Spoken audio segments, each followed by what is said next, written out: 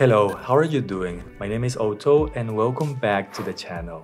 Today, we're going to be talking about the new Insta360 X4. This is a camera that can record videos in 360 degrees and this is possible because there is a lens on each side and this means that it doesn't matter how you point the X4 because it will be able to see everything around it, not just on the sides but also upwards and downwards. For many people, this is a huge feature because they don't have to worry about framing the shot correctly. You know how your main subject could be out of the frame, it can happen to anyone. And 360 videos also have the advantage to let you select multiple frames from one single video. It's almost like having different cameras at the same time because with 360 cameras like the X4, you are going to be able to record and reframe later as many times as you want to get that perfect shot using the app on your smartphone or computer. And maybe I shouldn't call it perfect because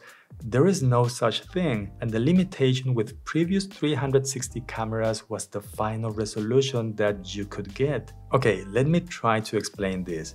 The X3 has a max resolution of 5.7K, but that's for the entire 360 video. Once you select and export a portion of this video, is not going to be anywhere near 5.7K. But we are here to talk about the X4 right? Insta360 gave this camera the same processor that is inside the Ace Pro, and one of the main benefits is that the X4 now has a maximum resolution of 8K. And even though this is also for the entire 360 video, you are now going to get better results without losing so much resolution after you reframe your videos. The size of the sensor is the same as the one on the X3, but the X4 now supports H.265 videos, and in my opinion, the processor is making a big difference inside this camera. And this is not just about the resolution, the videos now have a much better quality where you can see more details. There is a big difference in the amount of noise, especially in lower light conditions. And I also think that the color science has been improved. It just looks like they're being rendered with a much more pleasing look than ever before. Shooting at 8K can be done at 24 or 30 frames per second, and if you want to shoot at 60 frames per second, you can do so at 5.7K and at 4K you can go up to 100 frames per second. One of the features that I love about the X4 and other Insta360 cameras is the electronic stabilization that they have. It is called FlowState and this will make your videos stable but with the X4 we also have horizon lock which is going to keep the horizon level straight and this works way better than most action cameras which usually have some angle limitations when you're using higher resolutions. On the other hand, the X4 can keep that horizon straight with no limits at 360 degrees, even if you're using the highest resolution and settings as well. Another big improvement that you can find on the X4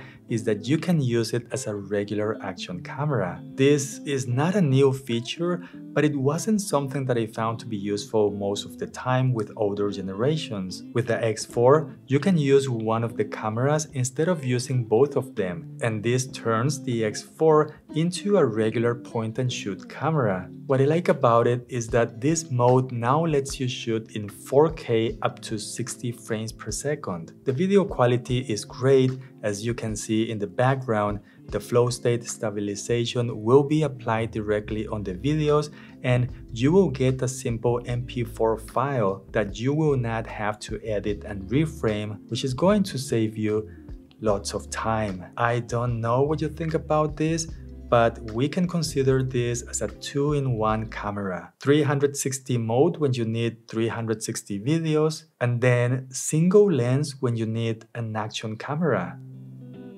The build quality of the X4 is really good, it just feels like a solid and rough camera which is waterproof up to 10 meters. With these kind of cameras, I was always concerned about damaging the lens with a scratch for example, but the X4 now comes with these replaceable standard lens guards for free inside the box, which are easy to install to protect the main lens. And you can also buy these premium ones which are supposed to be more resistant. If you are afraid that you might hit a lens on your X4, then using them is not going to be a brainer. But in my case, I was having trouble keeping them clean, and I am not a big fan of using another layer of glass in front of the main lens for multiple reasons. The design of the X4 is very similar to the one on the X3, but the X4 is a bit bigger and also a bit heavier at 200 grams. The screen is now made of Gorilla Glass which feels like a nice upgrade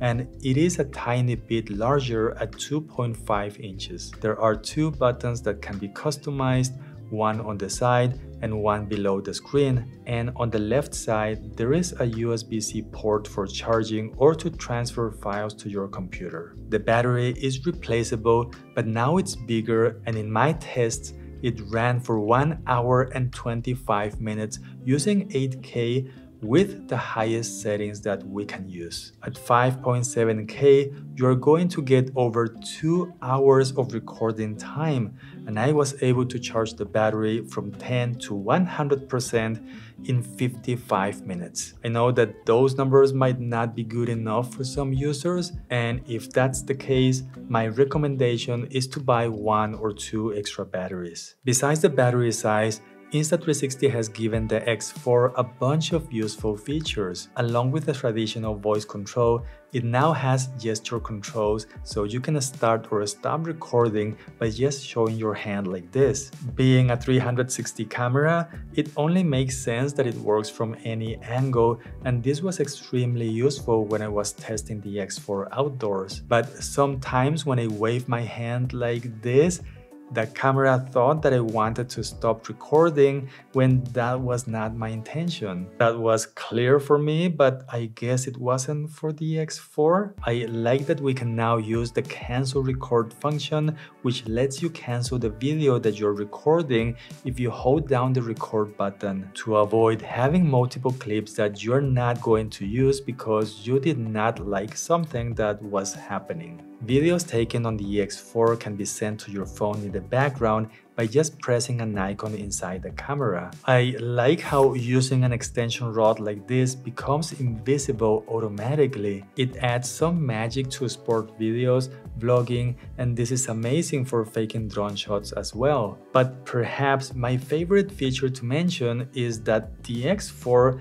is very snappy. You're not going to feel any lag when you start or stop recording and the menus just in general they feel very fast and responsive as well. I don't know about you but this is something that matters a lot to me. There's also an improvement with transfer speeds using Wi-Fi or using a cable. And this is because the X4 now has a USB-C 3.0 port instead of 2.0 the internal microphone seems to have some kind of improvement as well. Let's take a look at this.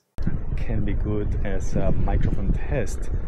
So I don't know, it's like, we're gonna see. I'm gonna switch to the right side. See how the shadows hit my face. If you buy a microphone adapter like this one, you can use an external mic, but the good news is that the X4 supports the DJI Mic 2. So pro tip, you don't even need the receiver. In reality, you just have to buy a single transmitter and save some money. To edit the 360 videos, you will need to use the Insta360 app on your smartphone or you can use the Insta360 Studio on your computer. I honestly feel that it's worth learning to use the pro editing mode to really get the most out of this camera, but it can be a bit overwhelming if you're using it for the first time. So Insta360 has an AI option that will quickly select the best parts of a video. And there is also this quick option that lets you reframe using a joystick on the screen or by moving the phone around.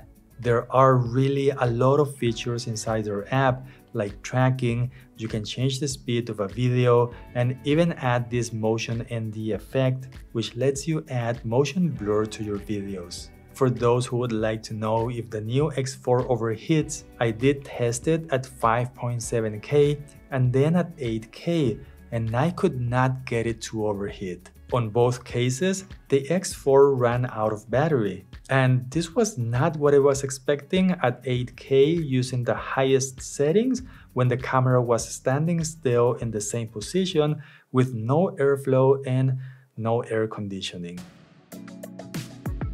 Now, I am not the kind of person that will advise you to buy every single new product or to buy the most expensive ones. And I say this because according to Insta360, they will continue to sell the X3 for $400. It is a good camera with some limitations when it comes to the resolution of the final videos. And for me, the X3 is the go-to if you're looking to get fun and more casual videos. But if you're someone who is more into higher quality and performance, I think that this Neo X4 is going to be the one for you. It has a retail price of $500, but after testing it for a few days, I feel it's worth investing the extra $100. If you think about it, it's only about $8 per month for one year. But honestly, this is by far the best 360 camera that we have on the market right now.